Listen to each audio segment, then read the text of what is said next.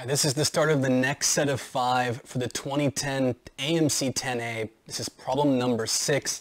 Again, on this uh, 6 through 10, you kind of want to average between maybe 30 seconds and a minute and a half for these questions, at least on the older tests. And again, all of this is subject to modification per year. They could throw a wrench at you, and number eight could be a totally weird problem that no one's ever thought of. They, they do that a lot in recent years. The older problems become a little bit more familiar over time. You may have seen them appear in other local math competitions, the concepts that is, um, over the years since you've been in school. So here we go. For positive numbers x and y, the operation, the original symbol they use is a, a spade from like, you know, a deck of cards spade, but I'm not going to draw a spade up here. I don't have that artistic skill. So we're using the hashtag uh, or the number symbol, you might call it. So hashtag or number, we just call it symbol. Symbol x comma y is defined as the symbol of x comma y is equal to x minus 1 over y. Now, if you're, if you're thinking about it, you should see this as x minus the reciprocal of y. Why? Because it's good to think about things in different ways. It might provide some speed um, calculation ability later on.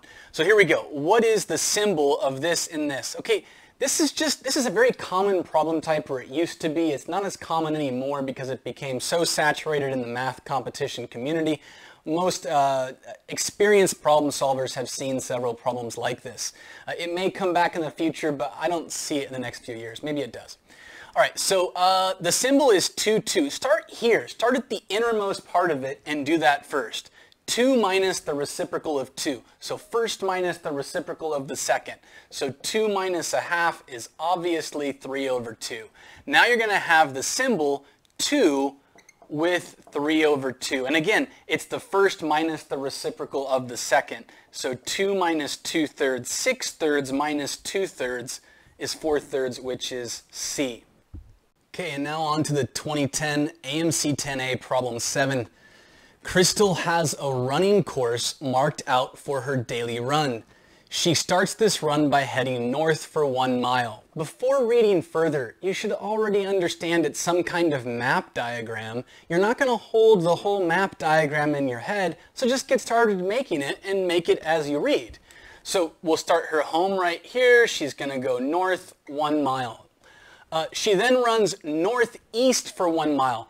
Uh, you should understand it's implied with northeast that it is 45 degrees to the horizontal, right? So that this, she's going this way. So that if you were to make a horizontal line this way, she's going at 45 degrees that way. Okay, so 45 degrees, she's going to go that distance for one mile as well. Then southeast for one mile. Again, you have to understand southeast as going at 45 degrees here, right? So that if this is 45, you also know that these are parallel lines. This is 45, this is going to be 90.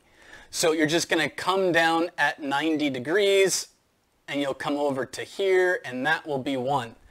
The last portion of her run takes her on a straight line back to where she started.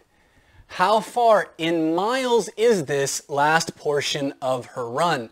So it's in miles, we were in miles, we're good, we just need to calculate. Now this is obviously x, x, and x root 2. If you don't know that, do Pythagorean, but shame on you if you don't know that.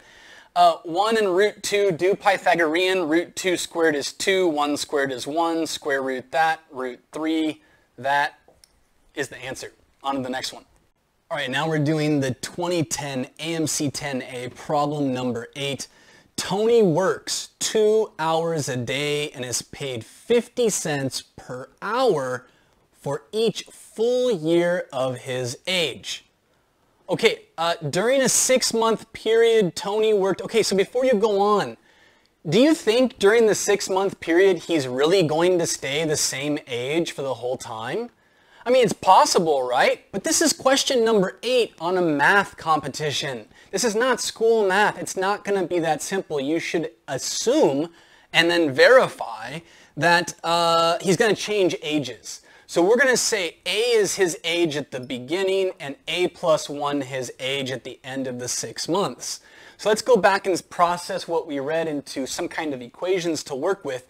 2 times uh, 50 cents will rate as one half, so he gets a half a dollar per hour. So uh, two times a half, he's to get paid times, oh, for each full year of his age. So times A. So let's say, for example, he's 10 years old. Then 10 times a half uh, is $5. He's going to get paid two, for, for each hour times two hours is $10 a day. So think about what you're writing as you write it, right? It's a little bit, you can get kind of confusing in there if you're not careful. So then uh, this is how much he makes per day at his original age. But he works for 50 days. So let's say that he worked for D days at the initial age. Well, then how many days will he work at the other age, the age where he's plus one? He's going to work 50 minus D. So we're going to add to this another still two hours, he still gets paid half times his age, but his age is now A plus 1. It's increased by 1. And the number of days he works at that rate is 50 minus D. All right, it might take you a little longer to come up with this. That's okay. Don't feel bad or whatever. Um, it's just, it can be difficult. We don't think in this way about the age changing and stuff like that typically.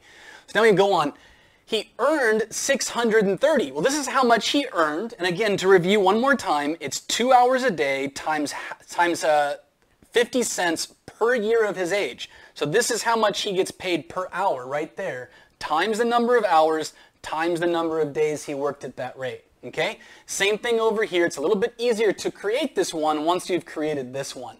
That needs to equal 630. So then obviously the two and the halves are going to cancel and you're going to get AD plus. Go ahead and start distributing and you might feel a slight moment of panic. I've got two unknowns and one equi- uh, shut up, tell yourself to shut up, right? And just go on. It's going to get better. There's going to be some way to figure it out. You have to have faith in that. If there's no way to figure it out, then they wouldn't have made the question, right? So let's just keep going. A times 50 is 50A. A times negative D, that's going to cancel with this uh, 1 times 50 is 50 and 1 times negative d is negative d equals 630. The ADs cancel out, subtract the 50 to get 580, and you get 50A um, minus d is equal to 580. Now just apply logical reasoning, right? Uh, you just think if this was 11, if he was 11 at the start, which is one of the answers, um, if he was 11, this would only be 550 and d would have to be negative to get up there. So the first value you should kind of logically check is 12. It gives 600, and he would have worked for 20 days at that wage. So then uh, 600 minus 20 is 580, right? Now if you try 13, let's say he was 13 at the start, then this becomes 650 and you have to subtract 70. The problem is he only worked a total of 50 days. This is impossible. So we know this is the correct setup. Now be careful they're starting to try to trick you. If you do this, you go, oh, I got the answer. I solved my equation. And you're so happy and you're so excited. A is 12 and you put 12 and you get it wrong. Right? It happened to several kids that year, several students that were taking the test. So don't do that. Think a little bit. We're going a little fast. Slow down just a little bit and make sure it makes sense. So it asks for at the end of the six month period. This is his age at the beginning. This is his age at the end. And we get 13. One last thing before you move on. If you move through it swiftly enough, you should have time to check your answer. So let's say we know he was 12 years old at the beginning. Then we can say that his age was 12 times the number of days, which is 20, plus his age being 13 times 30, and check what you get.